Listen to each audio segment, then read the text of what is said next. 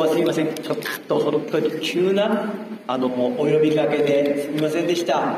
あの、唐津限界地区の、えー、世話人会国政報告会ということで、やろうということを思い立って、本当に時間のない中で、本当急遽お呼びかけしてしまいましたけども、土曜日の夕刻、こんなに時間の皆さんお忙しかった時だと思いますけども、その時間の都合をつけていただき、こんなにも多くの皆様に、唐津限界地区からご参加いただきまして本当にありがとうございます。そしてあの、改めてのおあのお礼でございますけども、えー、今9月の末になっておりますけども、今月の9月11日で、私国会議員として20年目を迎えました。おめでとうございます。ご座席をはじめそして、中井さんですね、エテルさん、えー、生私、聞いた皆さん、そして多くのお支えをいただいている唐津の限界の皆様がいてくださったからこそ、こうやって20年、6期にわたって落ち着いて仕事ができてるなというふうに思います。本当にあの、改めまして、皆様の日頃からの本当に変わらないご支援に言葉をお借りさせていただきまして、お願いを申し上げさせていただきたいと思います。本当にありがとうございます。ありがとうございます。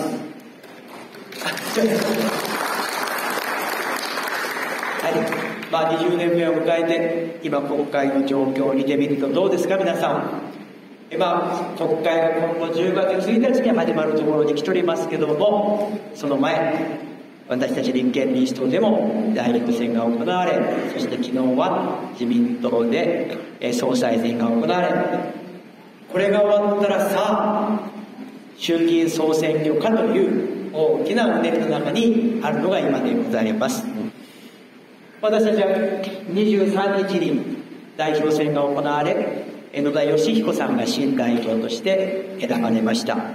で今回この新執行部の中で私先ほど来お話もいただきましたけども代表代行そしてこれまでと同じく選挙対策委員長が兼務するということで仕事をすることになりました。しかもこの代表代行というのは代表に次ぐあのお仕事なんですけども代表代行の仕事もですねえー、どういう仕事かというと野田総野田代表から、えー、指示をもらってるんですけども党務総括担当の、えー、代表代行つまり党務党の仕事全体を総括する代表代行として働いてくれると、まあ、こういうことでございます。えー、すなわち、まあ、幹事長さんがいらっしゃいます小川ジュニアさんという同期のことで、本当にあの、優秀、そして元気な私と仲間です。で幹事長さんにとにかく、えー、外に応援に行っていただいたり国会で、えーえー、質疑をしていただいたり党刷新の顔としてやっていただく。その一方で私は、まあ、幹事長さんのあの一つ上の代表代行と上の立場から、まあ、党全体他の党との関係の調整とか他のいろんな団体との関係調整とかあるいは党の中でいろんな課題問題があります。それを調整して決断をして決裁をしていく、まあ、そういったところは全部幹事長さんの上で大岸さんやってくださいと。選挙も含めてということだったもんですからあの引き受けさせていただきました大変重い立場の仕事になりましたけどもやりがいのある仕事だというふうに思っております。えー、20年目にしてこういうような仕事を担うことになりましたが、しっかり頑張っていきたいと思いますので、ぜひまた皆様には、あなたの面でご指導賜れればなというふうに思う次第でございます。さて、そういう中で昨日は27日自民党さんの総裁選挙が行われて、石破茂さんが新総裁となられました。その後にどういうことが動いてくるのかということでございますけども、国会が始まるのは10月1日でございます。来週火曜10月1日には、そこで総理を投票で選ぶ。まあ、石破茂さんが多数ですから選ばれるということになりますけども、総理が選ばれる国会で行われる。その後です。小泉進次郎さんは、あの、自民党総裁選の中で、こう言われてましたね。とにかく急いで解散総選挙審を通るんだと言われてましたね。ちなみに小泉進次郎さん、今度選挙対策委員長になられるみたいですね。報道があります。報道があります。そうすると私のカウンターパート小泉進次郎さんがなられるんですね。まあ、彼は自分が総裁になったらすぐ選挙やりますというふうに言いました。具体的に私たちが想像してたのは、10月15日にスタートして、10月27日に選挙。そういう極めて素早い日程を考えているのかなというふうに想定してました。それに対して私たち、意見を言ってたんです。どういう意見かというと、解散総選挙で国民の皆さんに対して信を問うなら、どういう政権運営をしようというのか、自民党が、新しい自民党が、それを国民の皆さんにしっかり知らせて、で、国民の皆さんが分かった上で、理解した上で、で、選ぶというふうにしなきゃおかしいじゃないかと。そのためには、10月1日に国会が開かれたら、そこですぐ解散総選挙という意味ではなくて、新しい大臣を選び、新しい大臣の顔ぶれも見せて、し所信表明演説を国会議場でちゃんと総理が行って、そしてそれに対する代表質問を国会議場で受けて、本会議場でしかし代表質問というのは実は皆さんがテレビでもご案内のように聞きっぱなし答えっぱなしなんですよね。あまり深まらないところがあるんです。だから私たちさらに言ったのはそうじゃなくてそこでとどまるんじゃなくて予算委員会衆議院2日参議院2日最低でも予算委員会というのは皆さんあの国会でテレビでもご案内私もよく出てました。総理これはどうですか？問うやつですね。それに対して総理がこういうことだし答える。答えてきたらそれに対してじゃあそれはこういうことですか？さらに質問を深くする。それに対して総理がまた2番目の答えをしてくる。それに対してではそれはこういうことですか？とさらにこうやって一問一答で議論が深まる。これが衆議院予算委員会。もちろん総理だけじゃなくて各大臣に対しても質疑ができる。一問一答。その予算委員会を最低でも衆議院2日参議院2日これが通例です。こういったことをやって新政権としてどういうふうなことを国民にやっていくのか見せてから国民の皆さんにどうですか選挙で聞くのが筋ではないですかということを言ってきた。んですところがね石破さん石破さんはちょっと違って石破さんは総裁選の時にですね。総裁選の時には確かにその通りだと言われてました。国民の皆さんに財務判断していただける財源を提供してから解散総選挙をするのは当然だと言われてました。具体的にはその時予算委員会というのはありうべしとこういうふうに言われてたんです。あなるほどなと私思ってたんですよ。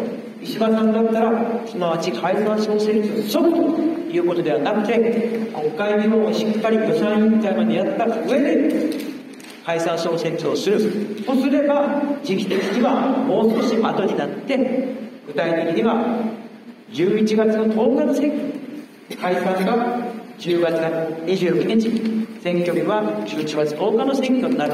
あ、こういうことだなと私思ってたんですよ。ところが昨日、石破さん、総裁になられた後の記者会見、昨日夜までインタビュー等々私ずっと聞いてましたけども、発言が変わっていました。どう変わってきたかというと、国会で議論をする。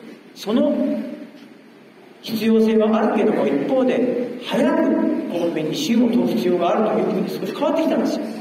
でかなり具体的には予算委員会と言ってたんだけど前は予算委員会よりもに限らず例えば党首討論もありますねって変わってきたんです党首討論皆さん党首討論ってどのくらい時間かかるか知ってます？1時間ですよ1時間以内で終わっちゃう極めて短い時間で終わるんですよ先ほど言った予算委員会は衆議院2日、参議院2日、これは通例です。全然時間の長さが違います。で、なんか石破さんの発言は昨日もう変わっちゃったんですよ。あれ？と思いました。あれだけ？国民の皆さんのに状況を、情報を提供した上で解散するのが必要だと言ってたんだけど、あれ？自分が総裁になっちゃったら変わっちゃったと私は思っちゃったんです。で、そのペースでいくと、小泉進次郎さんと変わらない10月の27日選挙というのが視野に入ってるんだなというふうに思わざるを得ないんですね。なんでそんなに急ぐんだろうというふうに私はなるんです。私今回の総裁選を通じてずっと言ってきました。表紙を変えても自民党は変わらない。表紙を変えても自民党は変わらないとずっと言ってきた。その片鱗を見たような気がしました。石破さんが宣言撤回したのは他でもあったんですよ。裏金問題だったんですよ。この裏金問題、今まで自民党は結局、具体的な説明を何もしないできています。誰も責任を取らないできています。必要な法律改正をしないできています。ざる法です。そういう状況であるにもかかわらず、9人の総裁選候補、一人として、この裏金問題に対して厳しい処分をするとか、きちんとした調査を行うとか、一人として言わなかった。石破さんが一番最初の頃に言った言葉があるんですよ。裏金問題に関しては、裏金議員を公認することを厳しく見る、厳しくする、公認しないというような雰囲気のことを石破さん最初に言ったんですよ。あれ？私はそれは正論だと思いました。選対委員長ですからね。私が思うに、やっぱり裏金問題に関して自民党が本当にけじめをつけようと思うんであれば、裏金議員に選挙に出るのはダメだという公認を与えないというふうにすべきですよ。それのみならず、公認を与えない、選挙を出さないのみならず、次に新しいフレッシュな人を出して、そしてけじめとして変えていくべきです。それが筋ですよ。で、石破さんはそれに近いことを言ったので、あれさすがだと私思った。ところがその翌日には、また変わっちゃって、選挙対策委員会で新しい体制で議論することだと。新しい体制で議論することだと。変わっちゃったんですよ。新しい体制で議論し、昨日はこう言ってましたね。選挙対策委員会でしっかり決めることだと。こういうふうに、下駄を預けた形になっちゃった。ちなみに選挙対策委員会を預かるのは先ほど言ったように、小泉進次郎さんになるんでしょうかね。そうですけども、あれ？また前言撤回になっちゃったと思ったんですよ。こういうふうにコロコロコロということが変わる。これが今まで私たちが自分の中に生きてきたことではなかったでしょうこの表紙を変えても自民党は変わらない。このこと、私たち国会で今後も厳しく、やっぱり事実関係を問い、思いを問い、やっていかなきゃならないなというふうに思うんです。なぜならですね、皆さん、この裏金問題というのは、単に、単に領収書も出せないのに全部ポケットに入れておかしいな。税金払わなくてずるだな。そのような金のスキャンダルの話だけではないんですずるいな。得をしてるのあの人だけ。そんなだけの話ではないんです。この裏金問題というのは実は自民党の政治の体質本質これを表してる。だから私問題視してる。具体的に言うんですよ、皆さん。例えば今皆さんの暮らしいかがですか？暮らし。物価が上がってますでしょ？大変ですね。また10月からも物価が上がるというふうに言われている。にもかかわらず日本の賃金、給料、物価が上がってるけど給料だけは30年間横ばいできました。他の先進国はこの30年間で給料、物価分を除いても約1.5倍ぐらいになってるんですよ。日本だけが給料横ばい。給料が上がらないということは皆さん年金も上がらないんです。日本の場合は、実は元はですね、元は物価が上がれば年金もそれと同じく上がることになってた。ところが安倍政権の時に年金カット法というものを強行採決で通したから、どうなったかというと、物価が上がっても若い世代の皆さんの賃金がその分上がってなければ若い世代の皆さんの賃金に合わせて年金をカットします。そんな法案が通っちゃったんです。それに合わせて今、物価が上がってるにもかかわらず、年金がカットされてるのが今の現状なんですよ。だから賃金が上がらないと私たちの年金も上がらない。日本全体が消費する力を持たなくなっちゃうんですね。だから賃金が上がるものすごく大事なんです。なんで韓国では他の先進国では30年間で1.5倍も賃金が上がってるのに日本だけ上がらないんでしょうか？私たちの働きが悪いんでしょうか？私たちの能力が低いんでしょうか？生産性が低いんでしょうか？違うんですよ。日本の企業全体を見ると日本の企業全体を見ると利益は上がってます。収入は上がってます。30年前と比べると30年前の日本全体の企業の利益は30兆円とか40兆円ぐらいだったんですね。それが30年間、実はずっと上がってきてるんですよ。企業全体で見ると。上がってきてて、今、過去最高の利益を上げてるんですよ。企業全体で言うと。100兆円規模まで来てます。100兆円規模まで。で、皆さんにお問い合わせします。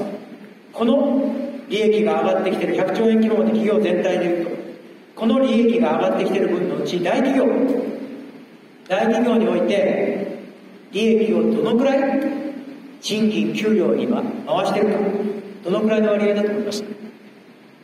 利益が上がった分のうちどれだけ給料、賃金に回してるか。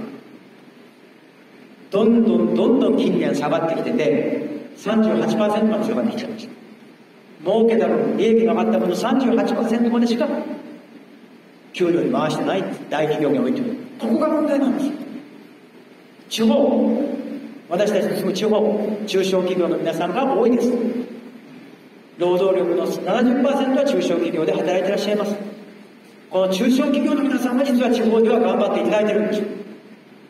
利益のうちの8割を給料に回してもらってる。一方で大企業は38%しか給料に回ってない。なんでこんなことになってお金はどこ行ってんだろう溜まってるんです。内部留保という会計学の言葉で言うと、内部留保という言葉になりますけども、中に溜め込んで600兆円にまでなります。日本の全体の1年の経済規模は500兆円。日本の経済規模よりも大きな金額600兆円。このくらい実は企業は溜め込んでいる。そしてその中から大企業は給料に払っていない、溜め込んでいる。ここなんですよ。だから本当は政府は大企業に対してもっと賃金を払いなさい。溜め込んでいないで賃金を払いなさいと大企業に対してもっと強く指導していくべきなんです。でも自民党はそれをやらない。なぜか。金をもらってるからです。企業団体献金、パーティー券、大企業から献金をもらってるから。大企業の意に沿わないことは言わない。だから、裏金が問題なんですよ。それだけじゃないですよ。それだけじゃありません。中小企業、先ほど申しました中小企業の皆さんは一生懸命頑張って利益の8割は給料に回してもらっています。でも今中小企業の皆さん今非常に大変です、地方は。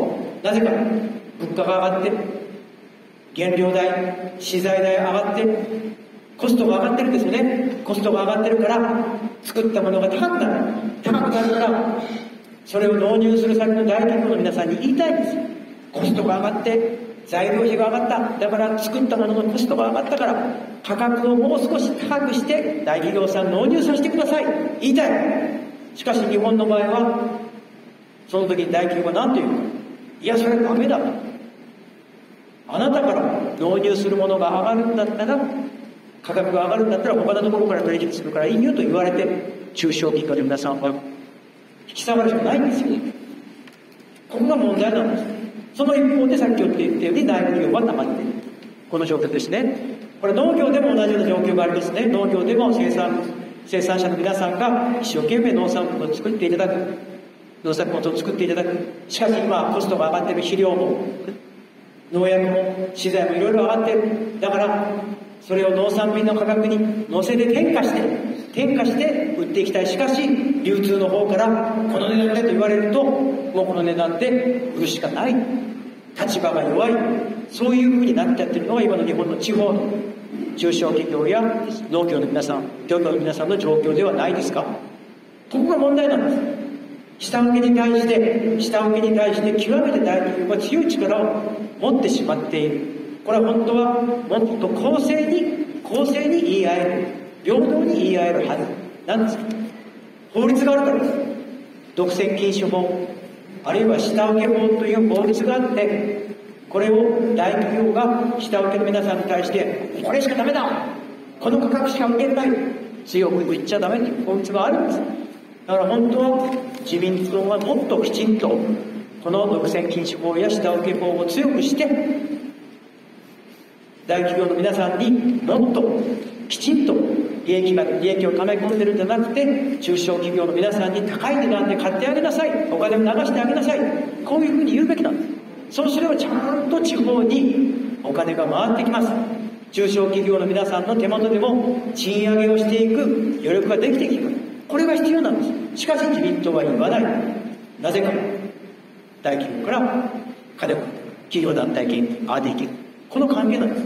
アメリカのバイデン政権はこれをやりました。アメリカのバイデン政権は独占禁止法を強めて大企業だけが利益を独り占めすることがダメだということにして利益が幅広く流れるようにしたんです。こうしていくのが筋。しかしやらない。金しがらみこれがあるからできない。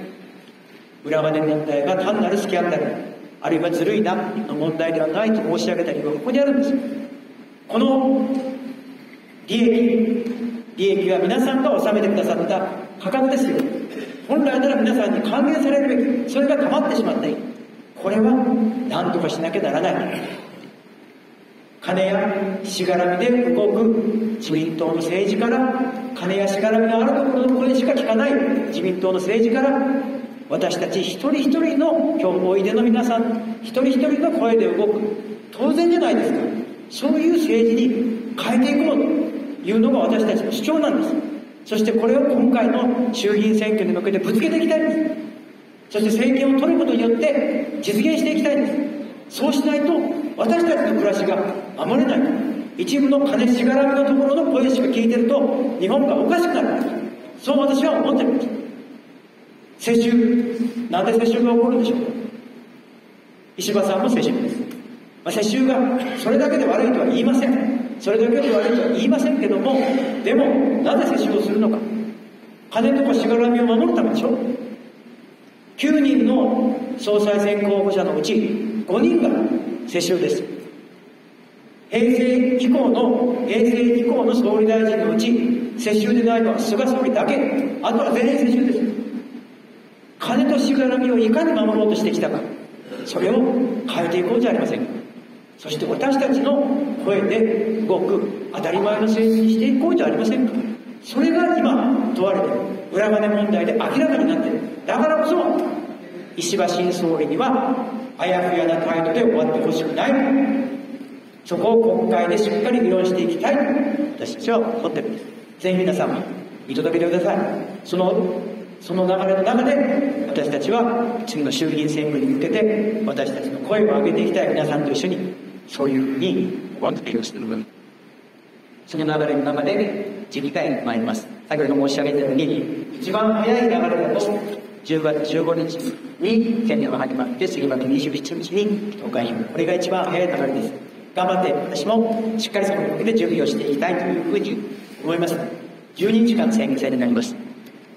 いつもであれば皆さんと一緒に私選挙カーに乗り駆け回り皆さんのもとに訪れさせていただきそして夜は送迎期大会を各各所で開かせていただいてやってまいりました。しかし私今第5代行選挙対策委員長兼務という形になりました。全国の仲間を応援に行かなければなりません。